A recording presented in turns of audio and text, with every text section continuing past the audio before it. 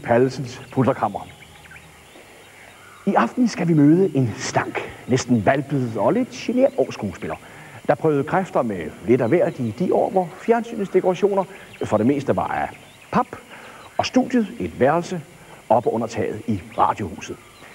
Han nåede endda, det var i 1958, at være med i et eneste såre beskeden tv-spil, hvor kulissen skulle forestille Rådhuspladsen i København nytårsaften. Frank Jæger havde skrevet teksten, og den unge mand spillede tryllekunstner. Øh, det bliver han ikke helt. Og dog.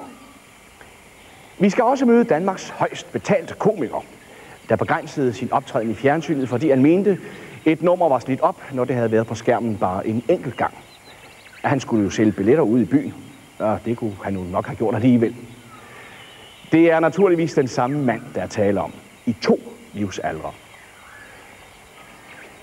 I den kommende time vil vi give dem et spændende indblik i hans komiske laboratorium. Han fortæller selv om ingredienserne og uddeler smagsprøver. Mine damer og herrer, de passer er i fjernsynet. Publikum betyder alt for mig. Øh, fordi at med publikum, der spiller jeg pingpong, badminton, squash. Publikum betyder så meget for mig, at øh, når de er døde dernede, det sker en gang imellem, vi taler om, de er døde, så, øh, så ved de slet ikke, hvad de gør mod dem selv, fordi så er, så er Dirk ikke den samme. Og jeg ved, det lyder krukket, men der er ikke noget at gøre. Jeg skal helst have en lille hjælpende hånd fra dem dernede. Jeg ved da godt, at billetten er efterhånden kommer op i 42 kroner, men øh, de kunne da godt hjælpe mig lidt. Altså de der om søndagen. Det er gerne søndagspublikummet, kalder vi den. Jeg er fu- fuldstændig øh, heksemester. Jeg kan gå op om aftenen og kigge ud igennem hullet eller i tæppet, og så kigger jeg på den dernede, så siger jeg, den er god i aften, eller den er... I skulle vide, hvor meget I betyder for os. Så nu jeg alle små uartige pigers julemand Jeg lærer dem, hvordan Ja, jeg ved søren snart ikke, hvordan jeg skal sige det. Alle mine kammerater, de kalder mig for skørten, men det er virkelig en, der her jeg Torbjørn. Jeg ved søren snart ikke, om jeg skal fortælle dem, hvorfor de kalder mig for skørten. Nå, skidt. Det var en dag, da vi alle sammen var taget i svømmehallen. Alle mine kammerater, de var hoppet i vejen. Da jeg kom gående der med mit skotstern baghåndklæ, så den lige svævet rundt omkring mig. Pludselig råbte de alle sammen ned på bassinet. Torbjørn, Torbjørn, din sækpiv hænger for ned.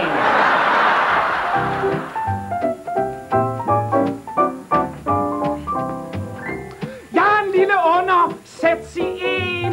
Jeg har bare, siger man, lidt for lange ben. Mit hoved skal have fred, og kroppen skal have ro. Det siger en børnepsykolog. Jeg må ikke lege med de store drenge.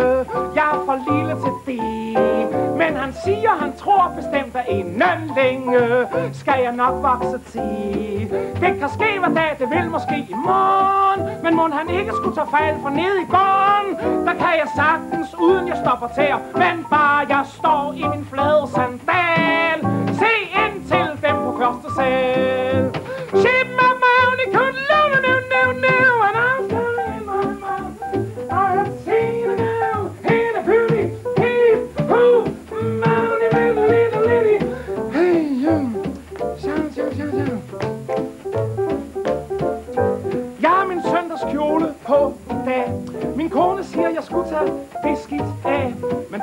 Jeg sagt, det ikke er så let at synge refrænget, hvis jeg kan.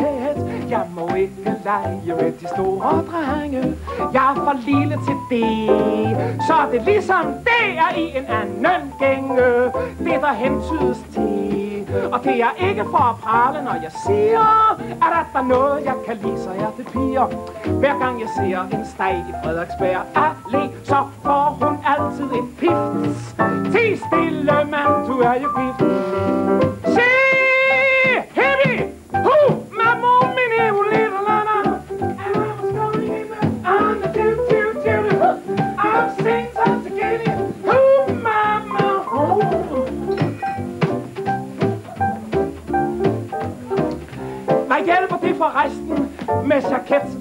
Barne H.C. Hansen tager billet og flyver til Genève. For Hansen sagt et ord, hvad hjælper jaketten ikke spor. Han må ikke lege med de store drenge. Han er for lille til det. Han kan sidde i en yderkant ved bordet og hænge på en stol, hvis han vil. Hans far bestemmer selv, hvad taler der skal holdes. Dem holder far selv, han hedder Foster Dulles. Og når de voksne så skal diskutere, må lille Hansen pænt luske af. Godnat, far. Tak, far, for i dag.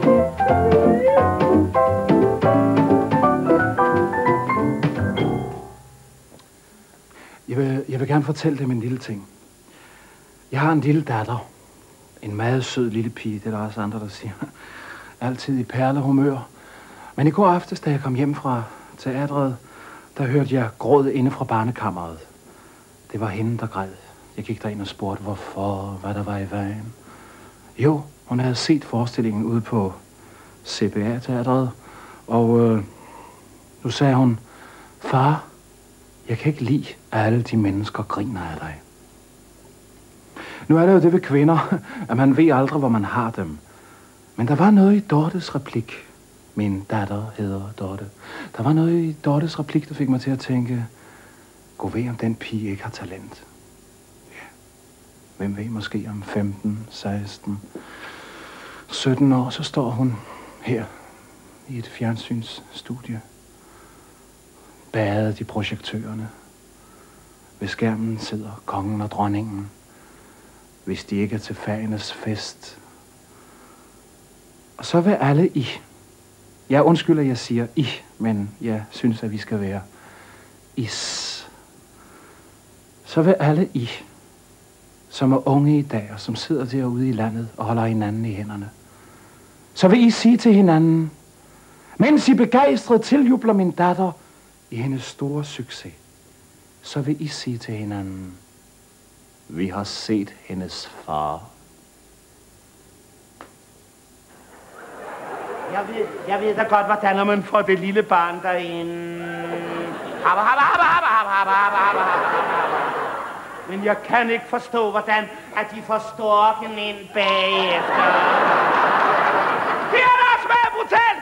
Og hold sådan en lille barn inde bag sådan en lille rum i ni måneder. Det kan du ikke godt huske det. Man har jo ikke andet at lave end at sparke og skrive sit navn på væggen. Du er født i en lille lejlighed på Østerbro. Nå, Og der siges, at det var den 18. maj 1926, og din far var styrmand. Er det rigtigt? ja, ja, det er rigtigt. Han var ude at sejle. Jeg var sådan lidt et styrmandsbarn. Ja. Og ja, det kan jeg, ja, jeg skulle lige til at sige, det kan jeg godt huske, men øh, det kan jeg ikke. Det er jo ret begrænset, hvad man kan huske fra den gang. ja. Han kom hjem tre måneder efter, du blev født. Ja, ja jeg kan godt huske. øh, at han spurgte, øh, han havde, jeg var tre måneder, ja, og han, så spurgte han øh, viseverden, om øh, sk- skal den bruge læbestift eller barbermaskine, sagde han. det var jo en pæn måde at spørge på, om man var blevet en dreng eller en pige. Tror du... Øh... Jeg, ved, jeg kan huske en gang i magasin Du Nords elevator, der har jeg været tre år, der var der en dame, der satte sig ovenpå mig, fordi jeg havde sådan en sort matroshat på. Hun troede, jeg var en skammel. Men den kan jeg tømmermænd. Har du... Øh... Har det præget dig, tror du, at din far var styrmand? Prægede mig. Ja. Jo, jeg, jeg var med der nogle måneder dernede i... Øh, øh, vi sejlede over Røen og ned til Stettin med brunkul og så videre. Det var jo... Altså, der var man jo meget ung. Der tænkte man jo ikke over. Der var miner og, og sådan noget. Og øh, øh, man slap jo igennem. Det vil sige, skibet gik ned på turen efter, at jeg havde været med i Kattegat. Men de, men de blev reddet, lov. Men der havde, den- den kunne lige så godt have været tæt på for mig der. Men du kom faktisk på jeg søfartsskoler kom ud og så- sagde... jeg, var, jeg, jeg gik i land, fordi jeg var søsyg. Og meget søsyg. Uh, vi, vi kom ud af havnen der, vi skulle ned til Tyskland der. og Allerede ud for tre kroner, der var den der. Bum, sagde det bare hele tiden der.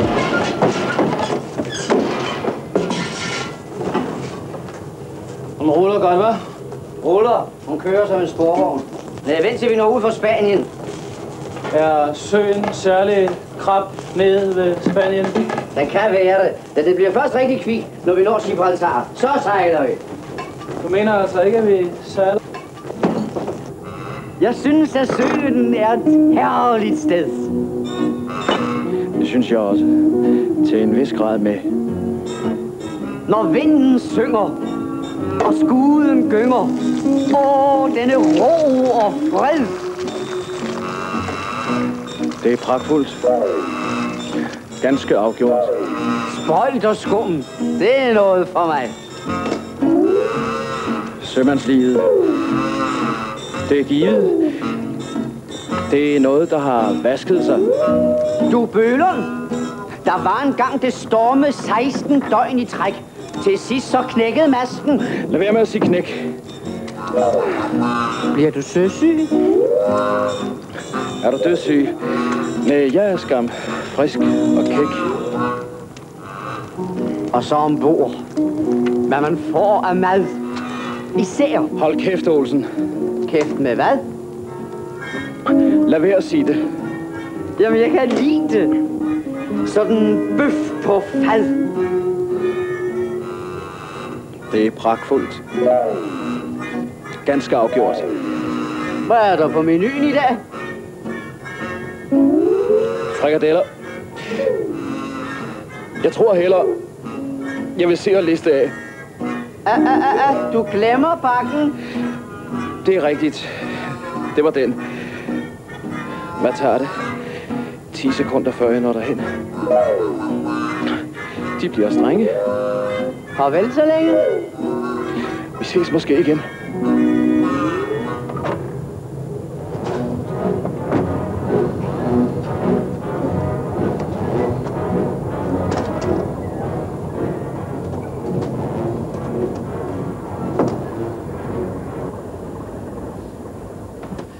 Skal i dag snakke om søsyge. Det er ikke spor morsomt at være søsyg, for man har det rigtig skidt. Man ønsker faktisk, at man var død, men lad være med at give op.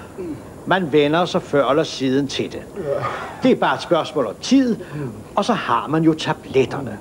De kan købes på et hvert apotek, og de hjælper. Men selv uden tabletter kan man gøre meget selv. For det første, maden. Lad være med at spise fedt, flæsk, ål, chokolade og den slags kvalmende spiser. Drik et glas vand. Sådan. Og læg dem fladt ned på ryggen i deres køje. Og bliv liggende. Følg med skibets bevægelser, det hjælper. Men slap helt af. I løbet af et øjeblik har de det meget bedre. De får nyt mod, de føler, det går fremad, og det gør det også. For det hele er et spørgsmål om optimisme og fortrøstningsfuldhed. Men husk hele tiden, ikke tænke på mad og fede spiser, for så går det hele galt.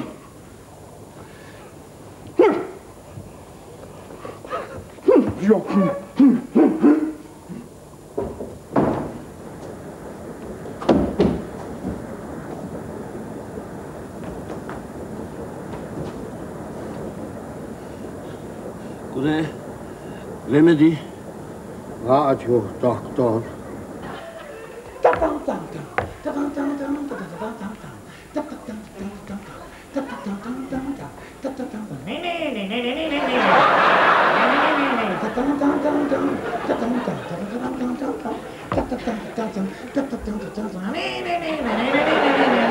Øh, Det, det er jo sådan med, med en skuespiller, en kunstner sikkert inden for alle fag, at der er et eller andet, der lager sig op, og der, der er noget, man aldrig glemmer, og som på en mærkelig måde har haft en eller anden betydning for en. Nu, nu tror jeg ikke, at den lille historie, jeg fortæller her, øh, har haft for meget betydning for mig, fordi den er egentlig ret dramatisk, kan man sige, i sit forløb. Det var den i hvert fald for mig dengang. Vi boede i Borgade nummer 4, øh, inde i sådan et kvarter, hvor der var mange jævnaldrende, der slog en prober næve, vi lå. Jeg var altid den nederste i arme og ben, foran en vis H.C. Andersen over i Kongens Have. Um, der var der en, der hed Tosse Anna. Jeg tror ikke, det kunne foregå i dag. Men øh, det var sådan en ældre, øh, jomfronatisk dame med, med sådan knappede spidsstøvler og, og klædt på næsten som virkelig en parodi, som man ville lave sådan en gammel tante. Og jeg kan huske, at hun altid lå, og vi drenge, vi øh, løb rundt og hudede rundt omkring hende. Og hun smilede altid. Og så pludselig en dag, jeg var ikke klar over rigtigt, hvad der foregik. For jeg var ikke klar over, at hun var, jeg tror det hed tosset dengang. Pludselig gik hun lige hen mod mig og langede mig ind på kinden, så jeg dejsede om i rendestenen, trillede hen ad gaden. Og hun gjorde det med et stort smil. Jeg tænkte ikke øh, så meget over det, før nogle dage senere, der lejede jeg nede på Kongens Nytorv, og vi lejede et tafat, og så sad der en dame, en køn, lyshåret dame. Hun har jo været omkring de 30 år, og vi lejede, og vi har sikkert irriteret hende ved at lege rundt, at lege rundt om hende. Pludselig rejste hun sig op med et stort smil og smagte mig sådan en på tæven, så jeg igen trillede. Og der skete der et eller andet inden i mig, at jeg blev altså, øh, jeg fik jo altså simpelthen et chok. Og i to år bagefter, der blev jeg skygget af mine forældre og mine tanter og så videre, fordi jeg gik midt på gaden. Jeg, hver gang jeg så en dame, der smilede, i, hvordan, i hvilken alder som helst, så får jeg over. Jeg krydsede zigzag hele København igennem, når jeg var ude at lege. Og øh, siden har jeg haft noget med, altså med, med, med øh, sådan sindssyge og patologiske roller, som jeg tror altså på en mærkelig, abstrakt måde, stammer tilbage fra det. Jeg selv er blevet sådan lidt, lidt mærkelig. Sådan lidt. Fordi når man øh, spiller de ting, man gør så stærkt, som jeg gør det, så skal man have sådan lidt af en troldsplint, eller lidt galskab, eller jeg vil nødt kalde mig selv for en psykopat, det vil jeg meget nøde gøre, men man skal, man skal lige kante den derhen af. Og jeg tror, øh, selvom det, den historie fra før ikke er hverken morsom eller noget, så har den, den har sat sine spor på, på en eller anden måde. En psykiater kunne få meget ud af det, det er jeg helt sikker på. Jeg kunne, jeg, jeg kunne varme hans sofa, så man tror, det er løgn.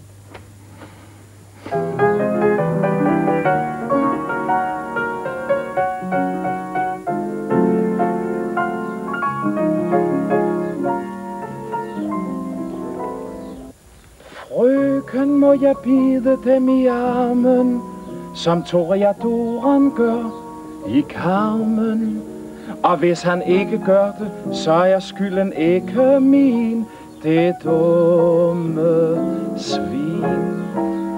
Så kunne han jo nulre dem i nakken, som sidder ovenover frakken, som de har købt i, lad mig se, i selve Helsingborg, nej, Helsingør, ja, det er vist det, der står. De fra Helsingør, fra Hamlets glade by, ja, hvor var Ophelia smuk. De er lige så sød, og hun var lige så bly. Ikke mindst den aften Hamlet visket med et suk. Frøken, må jeg kilde dem på knæet. Så kom Polonius frem bag træet. Så sagde Ophelia, i hvor er det varmt i dag. Og så hjalp Hamlet hende frakken af.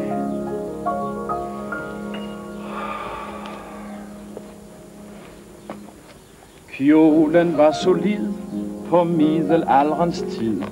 Alting var så umoderne. Lyndte ikke spor. Nu er det kun et ord. Det ord visker jeg gerne. Frøken, må jeg lirke lidt ved lynet, som faktisk stikker mig i synet. Og man skal aldrig stikke noget, siger man under stolen. Ej, heller kjolen. Så meget hellere linde lidt ved lissen, som nissepigen sagde til nissen. Eller også var det omvendt, det var en juleleg. Tror de på nisser? Ja, for det gør jeg. Måske ikke nok, man burde nok lidt mere. Bare sådan ganske lidt. Ikke mindst fordi den nissepige jeg ser, får mig til at spørge ganske stille kun om et. Frøken, må jeg klappe dem på bagen, så det kan høres op til Skagen. Der står min far og passer bommene ved toget. Så kan han høre, jeg er blevet forlovet. En øh, sangbegavet herre. Er der en sangbegavet herre blandt publikum? Der skulle vel ikke komme en Jeg sangbegavet... ikke sige, jeg kom lidt for sent. Jeg ramte ind i en selv. Uh, jeg skal, uh, skal sidde uh, der. Øh, øh, ja, ja, Ja. Nu, nu er der ikke nummereret pladser, Ja. men øh, der, jeg Ja. tror, der er en plads. Ja, men, er men når jeg nu har dem her, Ja. så øh, øh, jeg tænkte, at de er meget sangbegavet. De ser Øh. nemlig meget sangbegavet ud. Ja, ja, jeg er begavet. Men ja, ja, øh, men, det er muligt. Det er muligt. jamen, de, de ligner en, jeg lige kunne bruge. Det ved jeg. Ja, de minder mig også om en eller anden, jeg har mødt før. Ja. Travolta. Ja, det er muligt, det var ham. Jeg kan ikke huske det. Men nu skal de høre. Altså, det drejer sig om denne her lille... Ja. Nej, men det finder vi ud af bagefter. Ja. Nu skal vi i gang med den her lille musikalske spøj. Og der er to emner. Skal jeg holde den? Ja. Øh, der er to emner. Øh, Der er sol og regn. Ja, det Ja. er der. Ja. Og den ene af os skal synge flest mulige sange, der handler om sol, og den anden skal synge flest mulige sange, der handler om regn. Og de må selv vælge. Jeg tager sol. Hvad tager de?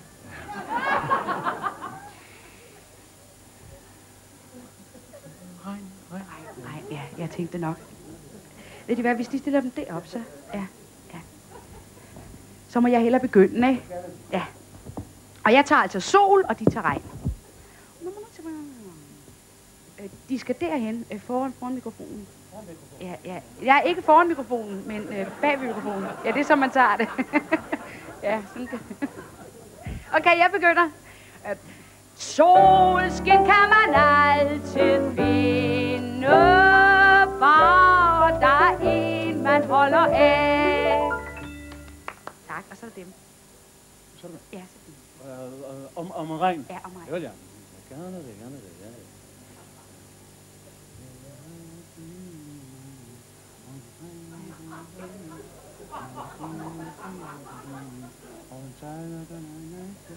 ja. det, det er meget smukt. Ja. Ja, men det er, det er ikke kraftigt nok. Man kan ikke høre, hvad de synger. Hvad er det så? Hvis de stiller dem lidt, lidt tættere på Ja, mikrofonen. gerne det, ja. Sådan, ja, det. Og, og så, og ja, ja. Den vej. Det har så nyligt regnet, og de træer, de dryber endnu.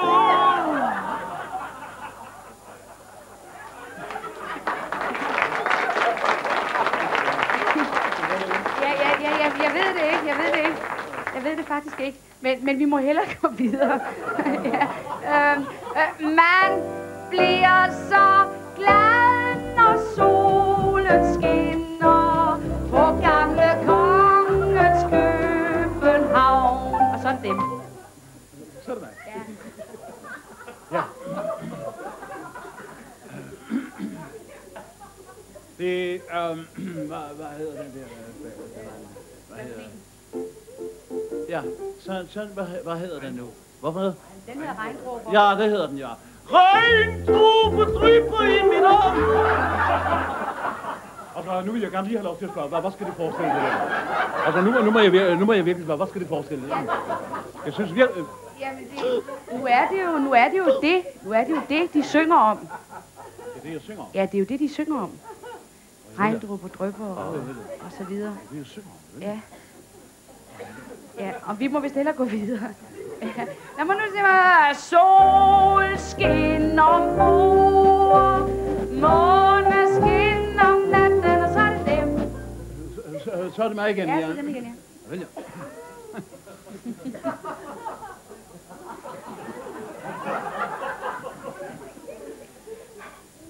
Jeg er altså født Gertrude, og min ven han hedder Kai. Så en mandag skulle jeg møde ham på Solitudevej.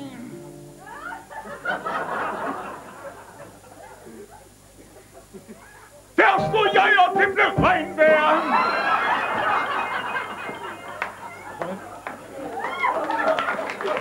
Men nu synes jeg, nu synes jeg ærligt talt, at, at, at, at vi skal bytte. Vi skal gå, uh, gå retfærdigt til. Ja, ja, ja. Er, er de med på det? Ja, ja, ja. Øh, øh, Jeg synes, det er meget rimeligt. Jeg, sy- jeg synes, at du skal gået øh, retfærdigt til. Og, og, og, og er de med på, at, at, nu, at, nu, at nu synger... Øh, og de opererer, så synger Jamsol. Ja, det synes jeg helt rigtigt. Ja, det synes jeg. Og, og det lover de. Det, de, de, de, de, de, går, de går med på det, ikke? Ja, ja, ja, det gør jeg. Ja, det gør jeg da. Ja.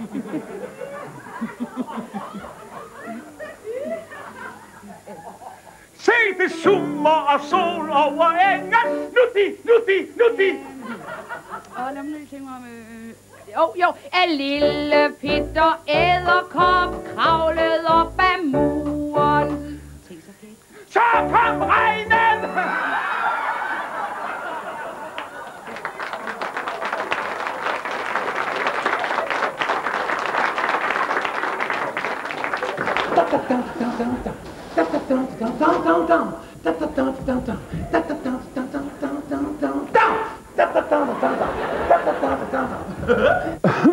Jeg kan huske, at ham der, Jon Iversen, han sad nede i Nyhavn i hyttefadet, og jeg kom jo dernede i mit sømandstøj. Og øh, jeg havde jo valget imellem at komme ud igen som sømand der, med mærvelsbier og køjesæk og det hele, eller også så gå til den, og så gik jeg over til ham der. Jeg kan huske, at jeg havde set ham i en film med øhm, øh, øh, Paul Reumert, Frøken Kirkemus og Margrethe Vibe. Der kan jeg huske, at han spillede hushovmesteren. Jeg kunne ikke huske, hvad han hed. Så jeg gik over og sagde, jeg hedder Dirk Persson, og jeg blev skuespiller, og så kiggede han jo på mig og grinede. Men øhm, jeg sagde, at jeg så gerne ville være det. Og så sagde han, kom hjem til mig i morgen kl. 7 og aflægge en prøve, og så kom jeg hjem, og så aflagde jeg en prøve, ja. Jeg lavede øhm, øh, Paul Moyes parodier for ham. Øh, jeg havde ikke... Man, jeg skulle nok have spillet en eller anden scene fra Shakespeare eller sådan noget andet. Kan du huske nogle af de parodier i dag?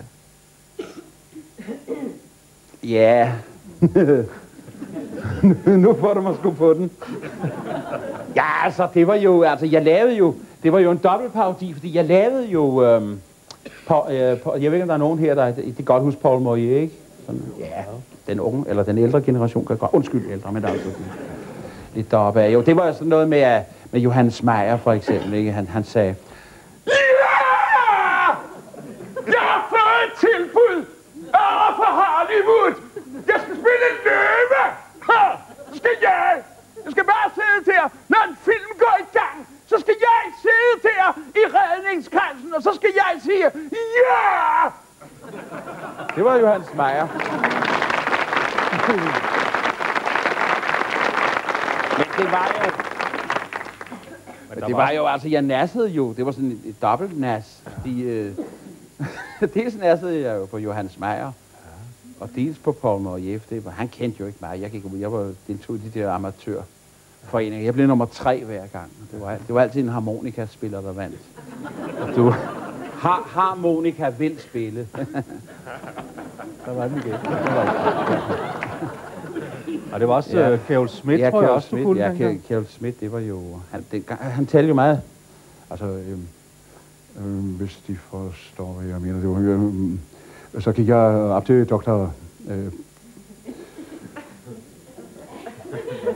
jeg, jeg tror sgu, han hed Blevad. Og så gik jeg, så gik jeg op til doktor Blevad. Og så sagde jeg til øh, klinik øh, jomfruen, tror jeg, hun var. Jeg, jeg, jeg, ved, jeg, jeg ved i hvert fald, hun var noget med klinik. Jeg, det, det der med, med, med, med jomfruhjem. Øh, jeg, jeg ved det ikke, jeg ved det ikke. Det var, det var, det var, det var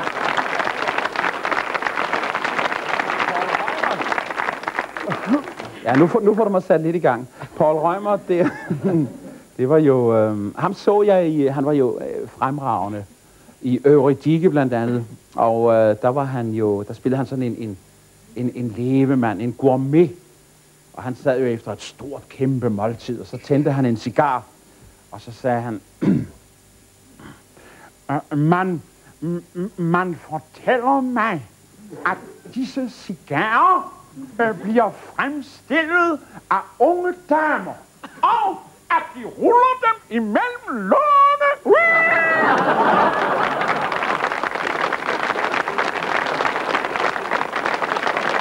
Så var der Ahoff der, der må jeg op og stå. Op og stå. Ahoff, det var jo...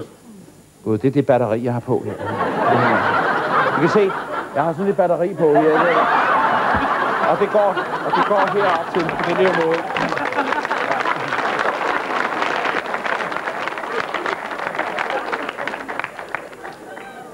Ja, sådan kan det gå, når man bliver gammel, så kører man på batterier.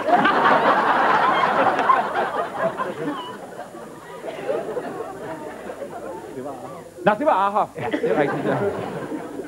Jo, det var, det var jo sådan mere, ja. Øh, øh, øh, kameraet jo, ja. Godmorgen, godmorgen, godmorgen god middag, god aften. Og så er den dag gået. Ja, goddag, herr Arhoff. De, de, kan vel ikke, de kan vel ikke sige, øh, øh, øh, hvem var den første i verden? Jo, lad mig nu se, tænke tilbage, tænke frem, frem og tilbage. Uha, det kalder jeg for en returbillet.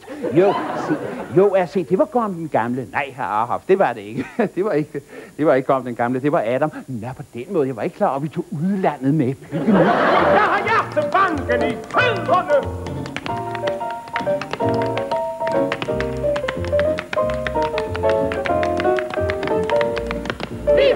Har banken i fødderne. Hov, du tager alt for store skridt, jeg kan ikke holde trit. Fy, hot, hot, Vi har det hele hule hot, hot. Tag så og fjern den der hop, småt. Vi har det sørme alt for hot. Alt for hot, ja. Ja, alt for hot, ja. Slap af og løft din hat og sving din stok. Nu har vi vist hottet nok. Hver gang jeg ser min skat, så løfter jeg min hat. Så løfter jeg min hat og svinger min stok. Hele verden drejer rundt. Lad os nyde hver sekund. Læg din nuttede, buttede arm om min hals. Næh, ved du nu, ved du nu hvad? Nu tror jeg, du skulle tage og stoppe dette kissemisseri, fordi, fordi... Jamen, hvem skal så kæle for kildekonens datter, når kildekonen kæler for sin kat? Er den på en viking? Det er en kildekat. Hvad sagde du, kildeskat? Jeg sagde kildeskat. Helt lunt i nat. Og måneskin. Hør nu, tag kukkeren fast. Og ikke en vind. Man bliver lidt mad. Det er dejligt skat. En vidunderlig, herlig en sommernat. Ja, så kom jeg på turné. Det var jo allerede... Jeg var 18 år der, og øh, jeg kom ud med Axel Illums turné. Axel her og fru Axel Illum, de var meget estimeret. På den tid var det Gerda Christoffersen og Svend Vedel og Axel Illums turné, der var meget der. Jeg skulle være regissør og skuespiller, og jeg havde en replik som tjeneren Robert i øh, et stykke, der hed Rebecca af Daphne du Maurier, hvor jeg skulle komme ind med to vaser og øh, sige, at det var de eneste to, der var tilbage. Og det var jo et fantastisk øjeblik for mig. Den første aften nede i Nykøbing Falster, og gå ind på scenen foran et publikum, øh, og så sige den replik. Jeg tror, det er det største øjeblik i mit liv. Allerede 14 dage efter, der gjorde jeg mig skilløjet på vejen ud. Og det var jo sådan et øh, dramatisk skuespil, og Robert han var meget sådan servil og høflig. Og Asta Ries Poulsen, der spillede den kvindelige hovedrolle, hun stod der. Det var selvfølgelig, når jeg gik ud, havde jeg vendt ryggen til hende der. Det var et meget dramatisk sted i forestillingen. Så gjorde man skilløjet. Og de grinede selvfølgelig. Og jeg sagde, nu er den ved at være der, nu er den ved at være der. Det er en kæmpe skideballe, fru Ilum.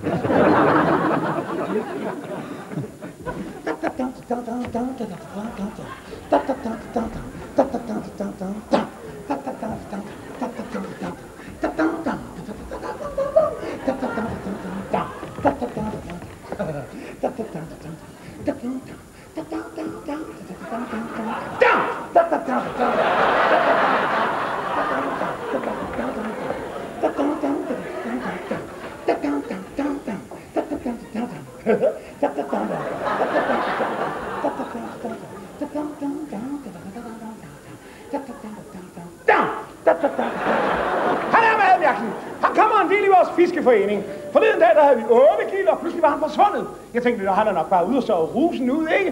Men pludselig kom han tilbage med plag om gælderne med sin bilnøgle i hånden. Og så sagde han, der er en, der har stjålet min bil. Jeg havde den lige her for enden. Jeg havde den lige her på spidsen, og pludselig var den væk. Så sagde jeg, ja, det er godt det dig. Kan du hen og melde det på politistationen? Det gør jeg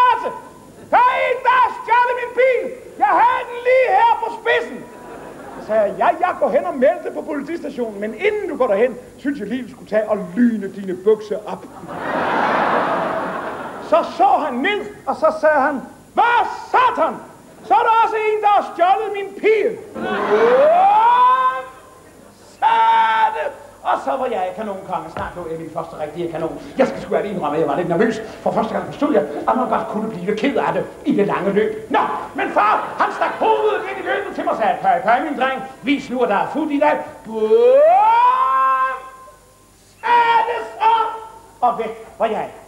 Jeg startede jo, det har jeg aldrig røbet for nogen, men jeg startede jo som Peter Malberg. En blanding af Peter Malberg og en øh, amerikansk komiker, der hed Joe E. Brown. Og Joe E. Brown, han havde altså noget, når han skulle bestille en kop kaffe, så sagde han, så sagde han, uh, I want a cup of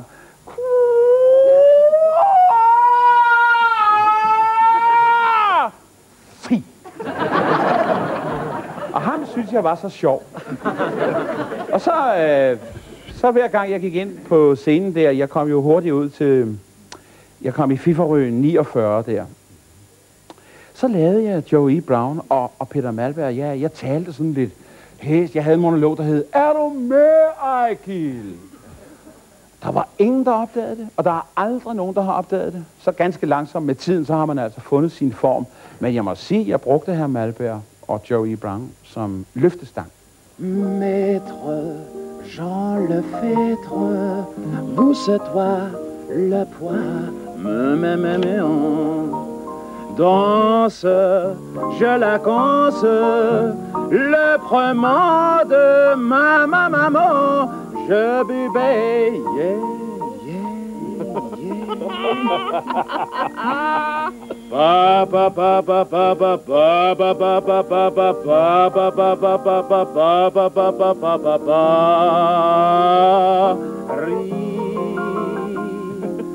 J'entre mon immortité, on se une feuille quand j'étais à la trontiton chez ma maman.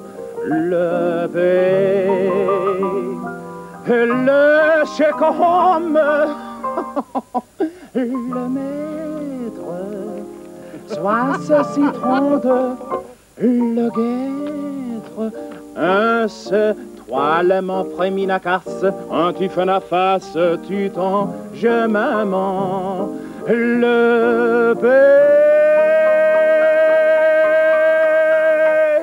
Ah, non, moi je vais les raverser, Laurent, hein, toi. Ok, ok, allez, bon, allez, changer, toi.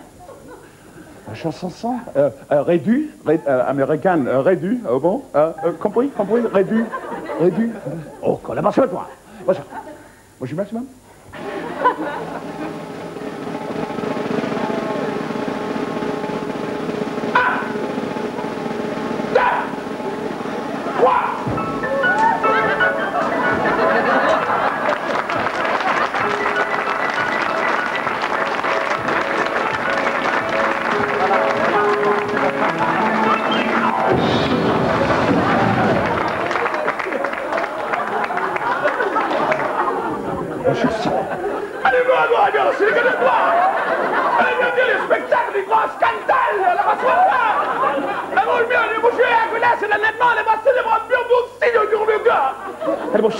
Mon chassis s'enlève-toi Mon chien Hercules, rends-toi Le fiasco, le rends-tu à toi Euh, Une grande flappe Ok, la versation l'abattoir. Ok, euh, à vos chansons, le bombe, le bombe-toi sans ça.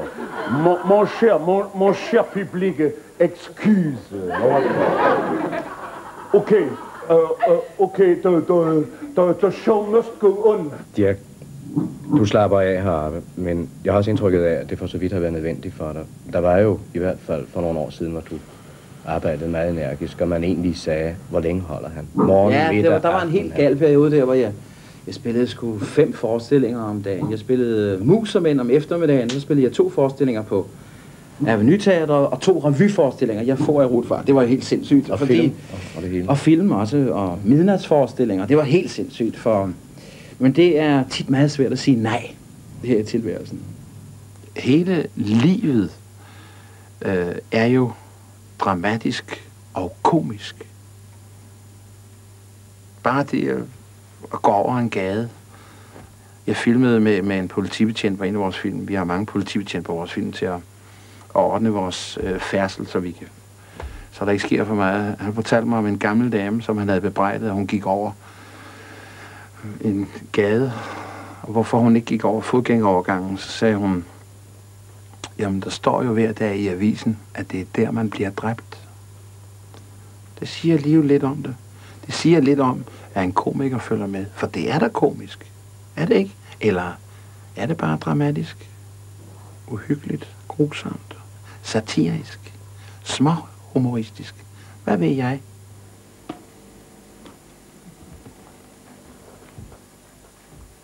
Hej, du gamle! Hej, jeg glæder, jeg glæder mig at, at, at se dig. Nej, hvor ser du strålende Åh, ud! lad snart være. Tør man spørge, hvordan du er kommet sådan på dupperne, hva'? Jeg, jeg forstår det, jeg har, jeg har, har holdt op med at ryge. Jeg har, øh, Hvad siger du? Ja, jeg har, har holdt op med at ryge. Ej, ved du hvad, det er sgu ærgerligt, og jeg som lige har været i London og tænkt på dig. Det er sgu ærgerligt, du. Vil, vil du have chokolade? Nej, nej, tak du. Nej, jeg holder mig trods alt til tobakken. Det vil man da være, det er det Ja. fede, som bare pokker, ikke? Ja, det gør det måske. Øh, Må, må, må, jeg ikke have, må jeg ikke have lov til at, at, at, at, at, at, at, at hjælpe dig? Sådan det. Ja. Pyt, pyt, pyt, jeg har masser, hvor de kommer fra. Har, har, du det? Ja. Mm. Sig mig engang, du. Øh, hvor længe har det varet, det der ikke ryger halløj? Må jeg lige se det? Du er øh, 17 timer og 4, 24 minutter og 3, og 3 sekunder. Hey, det må jeg sige, hva'? Ja, ja. Det må være den der ikke ryger dag, der er slået igennem. Ja, ja, det det det Ja, må- har, det må det- har, du lagt mærke til i taxaen, og der er der skilte, hvor der står, tak fordi de ikke røg. Øhm, selv i tv burde man ikke engang ryge mere. Nej, nej. I sportsorientering i går for eksempel, kunne man ikke engang at sige, at bolden den røg i nettet. Nej, nej. Han sagde, den smuttede. Ja, det kan jeg tænke mig. Du siger, bliver man ikke frygtelig nervøs og utilpas? Nej, nej, overhovedet ikke. Ja, ja, der, der, der, der, er der, er slet, der er slet ikke noget der. Jeg er fuldstændig, når, når, når, når øh, vil du ikke sidde ned? Det er meget jo, jo, hyggeligt. jo. Okay. Vi skal også sludre. Også sludre om det her. Ja, det var, det, det var den forsikring, vi skulle sludre om. Ja, det kan jeg forestille mig. Det er der Forsikringen, det er nok tænke meget alvorligt over. Det kan jeg forestille mig. Og øh, virksomhedsforsikring, erhvervsforsikring. Og øh, hvad er der der mere? er sikkert mange ting at tage hensyn til. Ja, sådan en forsikring, det kan jeg som, øh, forestille mig. Indeksreguleret ulykkesforsikring, det er meget Ja, det kan jeg tænke mig. De er i det hele taget ulykkesforsikring det hele taget. ikke? Og, familieforsikring, din familieforsikring, det synes jeg er Det, vigtigt for det er jo altså noget, man skal have hit alt sammen. Det er det jo. Det er jo klart. indeksreguleret, det er det altså kan en fordel. Nu skal du se, jeg skal lige... Øh, og giver du lige at holde?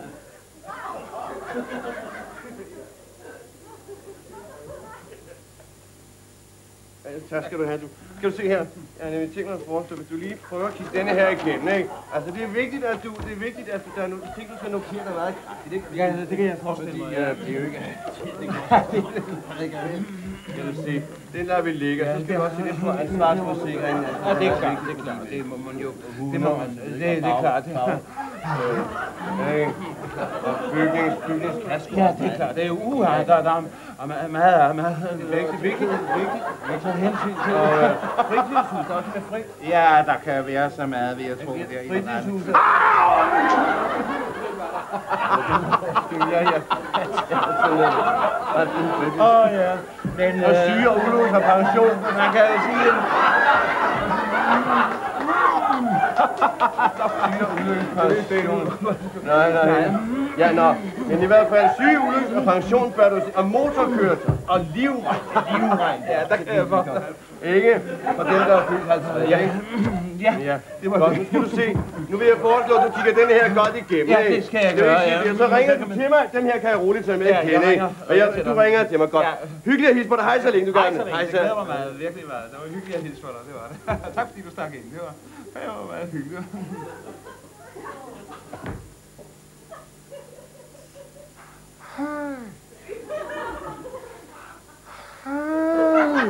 Du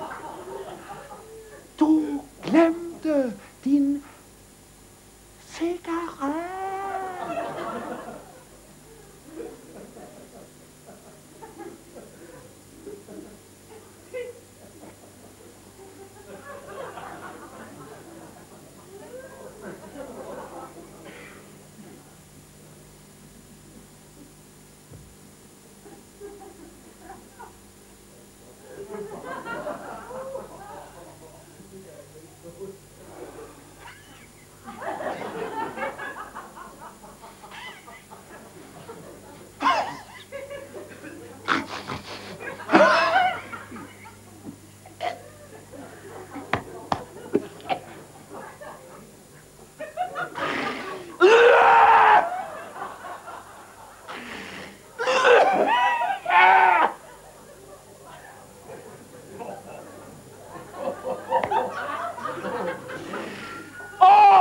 Skønt at føle sig som et menneske igen.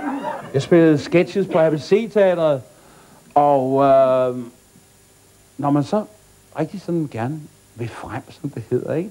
så bruger man jo albuerne. Det, jeg, jeg, jeg, er, jeg er beskeden, og jeg gemmer mig i skabet, men der er sgu et eller andet sådan selvopholdelsesdrift, eller, eller noget med, at man, når, når man vil frem, så er man ligesom laksen, der springer op i floden og vil hjem, der hvor den blev født. Er der ikke noget med, at den gør det? Jo, jo øh, Nå, det var jo et, et sidespring. Hvor var vi kom fra? Jo, ABC-teateret. Øh, Børge Møller, han skrev jo mange af sketsene dengang. Og øh, så skrev han for eksempel øh, Hansen øh, øh, bliver meget glad over denne meddelelse.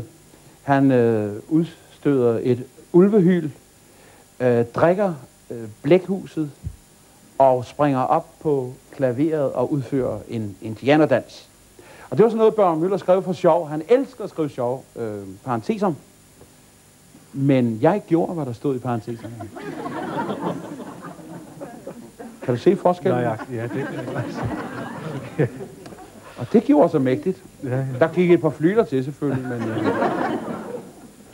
Jeg tror faktisk, at jeg får held med mig. For i aften, da jeg gik ud fra Grand Hotel, der fandt jeg en krone på fortorvet, og øh, den betragter jeg som en lykkemønt.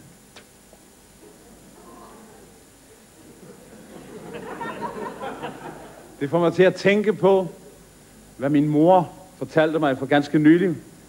Hun fortalte mig, hvad der skete. Jeg har vel været en fire år. Hun fortalte mig, hvordan jeg reagerede, da jeg en dag fandt en mønt på gaden. Og det var noget i denne her stil.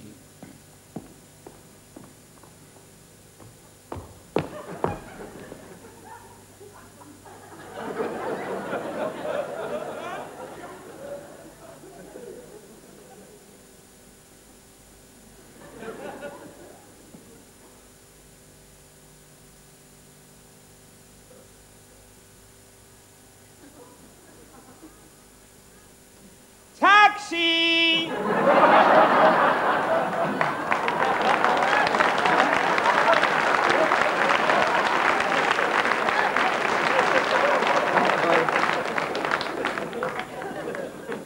Kunne, kunne ved, hvordan sådan en som den russiske balletmester Rudolf Nureyev ville reagere. Det var...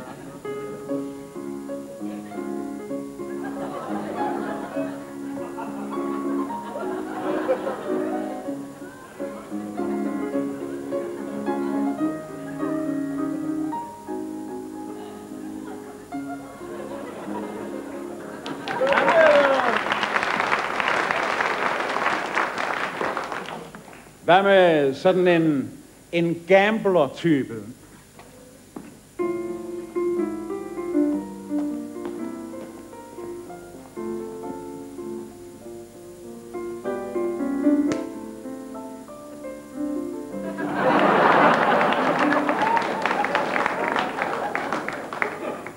En vesttysk turist.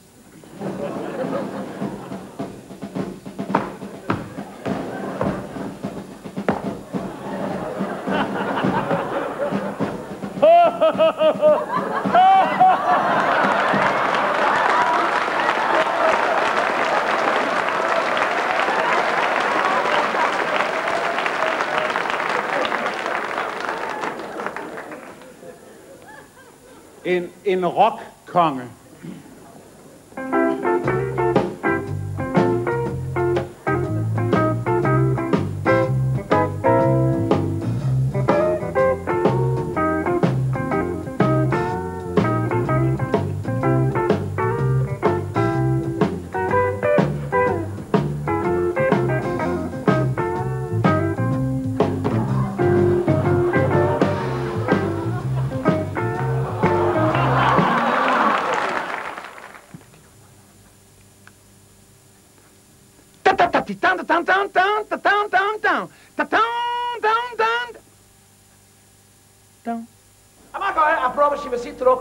ma se trok moja, a šnejden da brava še.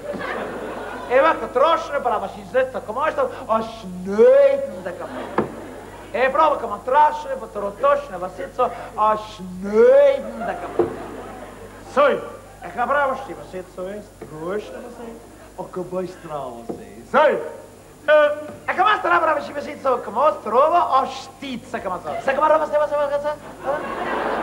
Sorry, a kamo bromoj broj, sa kamo je oštit, sa kamo... Sa kamo je vas, sa kamo je... Sorry, Robert! Robert! Estrović! Kamo ste Sorry, Robert, ste kamo stala, što je sve to je.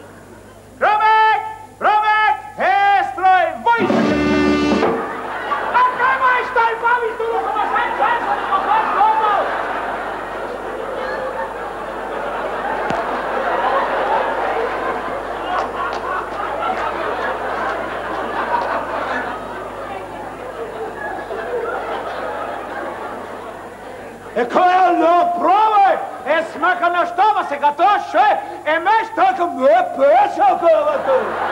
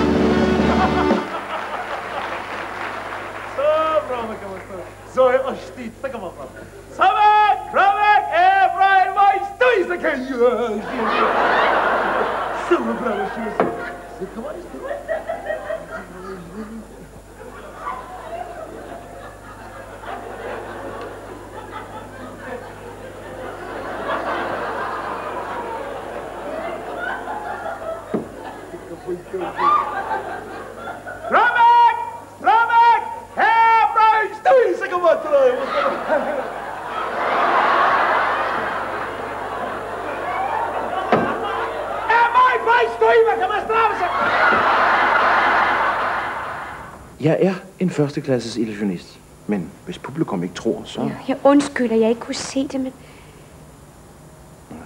det er jeg efterhånden så vant til. Men jeg kan godt lide at snakke med dem. Det er som om, jeg kender dem mægtig godt.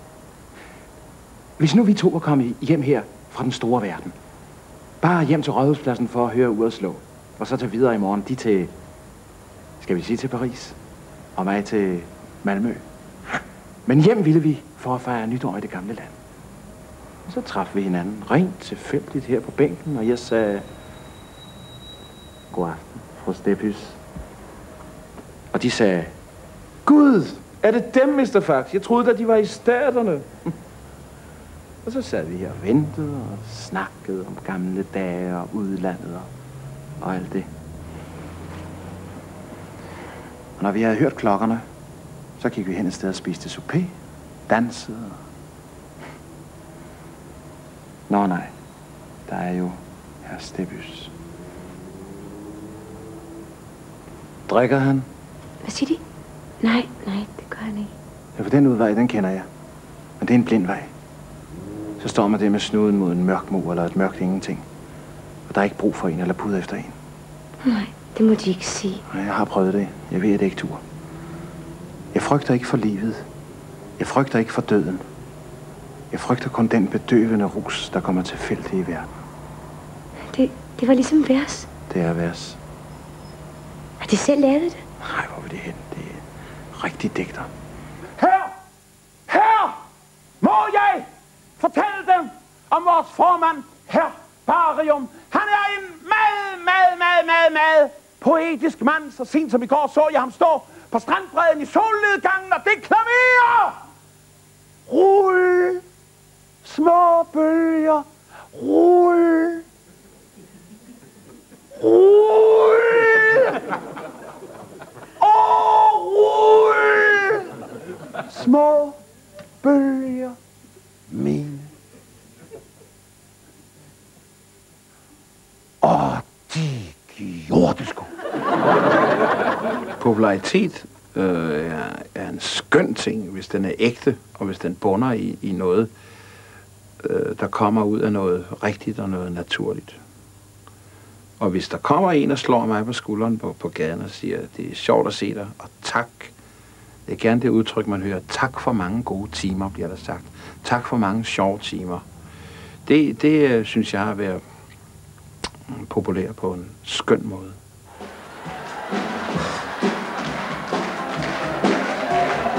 Man laver et teaterstykke, ingen gider se, så er det okidoki. Ingen fejl på det.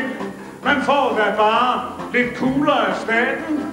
Så er der nok til amatørerne og klatter på plakaten. For der skal også være penge til tv. Det siger sig selv. Men til dækning af de tekniske uheld her i Pjækkeland. Pjek, pjek, pjek, pjek, pjek, pjek, pjekkeland.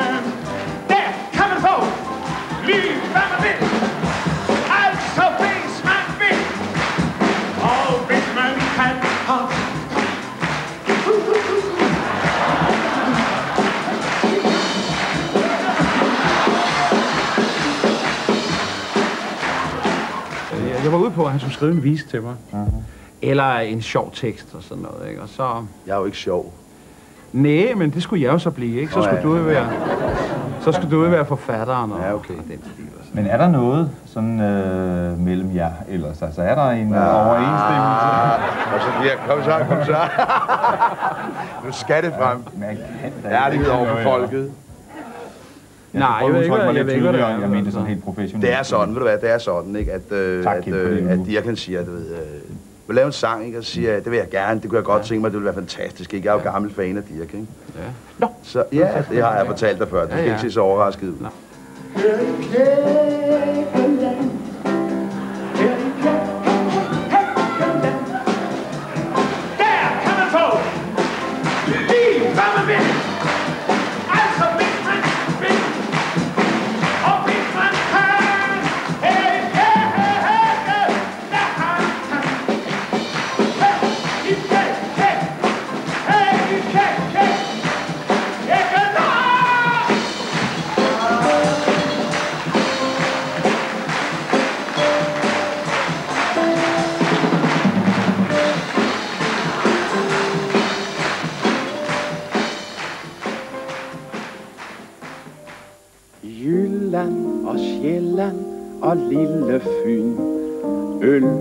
snaps og mel og gryn. Selvom jyden er stedig og stærk og sej, vil jeg bare kalde dig Lille Danevang, lille dynevang. Dine slesvigske strømper er stoppet. Du har dollargæld, du er bundreel, men trods alt så vidunderlig snobbet. Du vil meget gerne lege med de store, der driller dig og piner dig, og så tuder du en tår. Men så giver de dig lidt sabler og lidt snore, og så smiler du i drømme på dit pudevår. Lille Danevand, lille dynevand du er det artigste barn mellem brødre. Du er en slikkepot, du er en rigtig lille skvat, så hvorfor skulle du ikke have det godt? Vær som du er, det vil klæde dig bedst. Gem du kun din gyngehest. Du skal tænke som reven om rønnebær. Bliv du bare, hvor du er. Lille Danevang, lille dynevang. Du har alt, hvad et barn kan begære. Du har snakketøj, du har skidt om mig. Det er dig, at de andre kan lære. Du har radio og rigsdag og kommune, der skændes med hinanden og rakkes ned i hver vis. Du har frem for alt et gudbenådet lune, så du selv kan se komækken i dit paradis. Lille danevang, lille dynevang, dine store og nordiske brødre, tænk, de ser dig blot som en lille askepot.